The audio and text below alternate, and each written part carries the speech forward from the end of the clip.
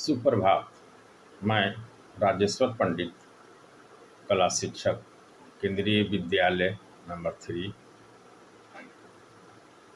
Mamun cantt Pathankot. बहुत ही खुशी की बात है कि भारत देश में अयोध्या, उत्तर प्रदेश स्थित स्वदेश संस्थान भारत तथा सागर कला भवन।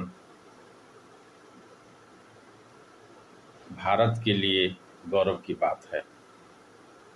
जहाँ पर कला संस्कृति, शिक्षा, साहित्य, सेवा का संगम है, देश के कोने कोने से कला अध्यापन के लिए प्रतिवर्ष हज़ारों की संख्या में विद्यार्थी अध्ययन कर कला के विकास के साथ साथ अपना जीवन सुचारू रूप से व्यतीत कर रहे हैं। श्री शिवबक्ष सागर जी के निर्देशन में भारतीय कला संस्कृति के साथ साथ भारतीय कलाकारों का भी उत्थान हो रहा है। यही नहीं, सागर जी, प्रत्येक वर्ष देश ही नहीं, विदेशों से भी कलाकारों को तथा उनकी कृतियों को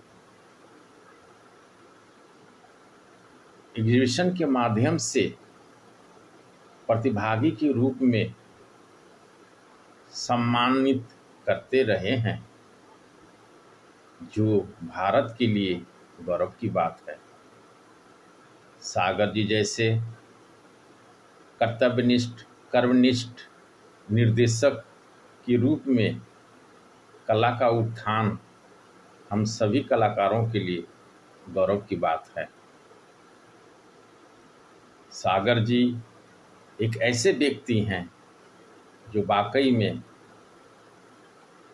सागर में मोती की तरह है।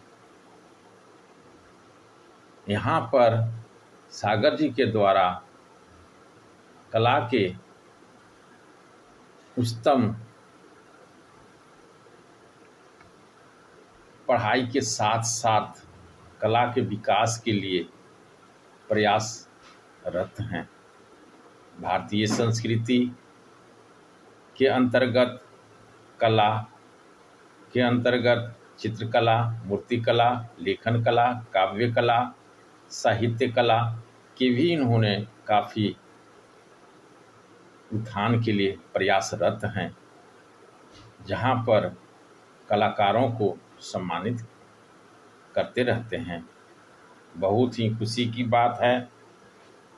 सागर जी के निर्देशन में भारतीय संस्कृति उत्कृष्टता की ओर बढ़ रहा है। समाज के लिए एक प्रेरणा का स्रोत है तथा भारतीय संस्कृति का विकास का उत्कृष्ट स्थान है।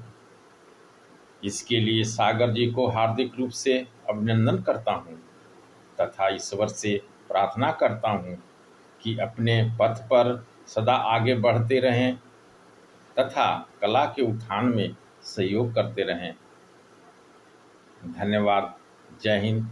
जय भारत।